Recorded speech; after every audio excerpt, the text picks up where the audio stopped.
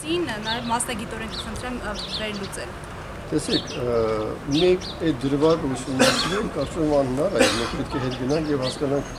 այն process-ը, որը հանգել է նրան, որ վաղ պետք է օրինակացնելու եւ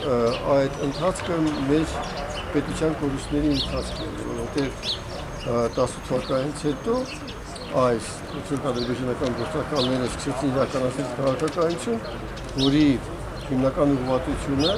մի կողմից Ռուսաստանից հեռանալ եւ դեպի արևմուտք գնալն է, մյուս կողմից ադրբեջանական իրենց տերերի պատվերը կատարելն է, այսինքն Արցախի ադրբեջանականացում եւ Հայաստանի եւ բնական է որ Ադրբեջանի նախագահ իր հայտարարություններում ասել է, որ ինքը շատ մտահոգված է այդ հանդիպումից, Բլինկենը ստիճան ասել, որ այստեղ որևէ վտանգ Ադրբեջանին չի ներկայացնում։ Միաժամանակ ինքը նաև չի ասում, որ հնարավոր ագրեսիայի դեպքում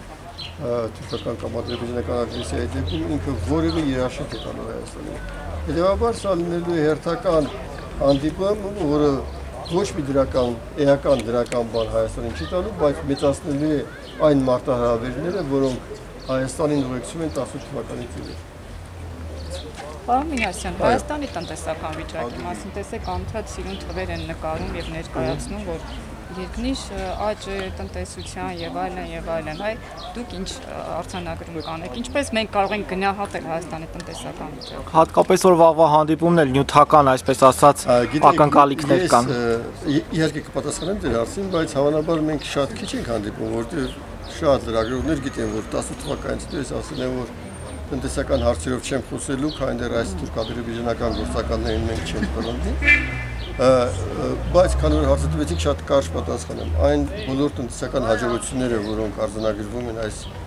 իշխանությունների կողմից կապված են ընդամենը մեկ երևույթի հետ դա ռուս-ուկրաինական հակամարտությունն է